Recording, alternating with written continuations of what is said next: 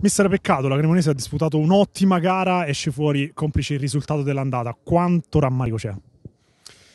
Ah, c'è rammarico ovviamente quando non si riesce a, a centrare una qualificazione, a ribaltare un risultato, il rammarico c'è. Beh, come ha detto lei, la partita è chiaramente da vedere sul, sul doppio scontro. Noi l'andata siamo stati eh, sicuramente inferiori, e, probabilmente anche perché abbiamo giocato buona parte della partita in, in, inferiorità numerica, per cui sicuramente lì si è complicato un po' nostra, il nostro cammino.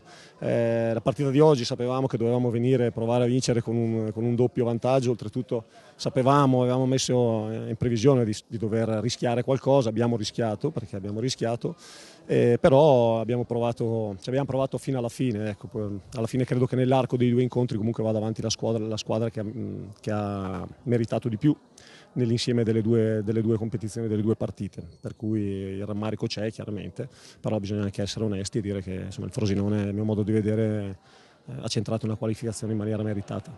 Può giocarsela il Frosinone con le altre, visto che in semifinale ci sono tre squadre che erano protagoniste del girone A? Ah, questo non lo sapevo. Beh, credo che se non sbaglio loro incontreranno il Brescia.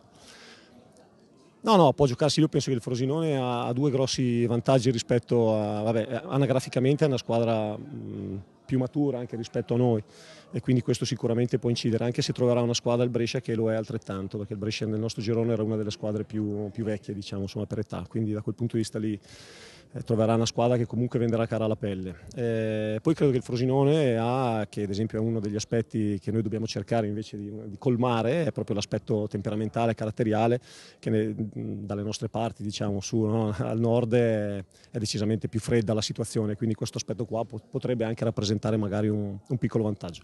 Troverà sicuramente però una squadra che rispetto a noi ha un gioco più, un po' più fisico, insomma una squadra sicuramente un pochino più matura della nostra.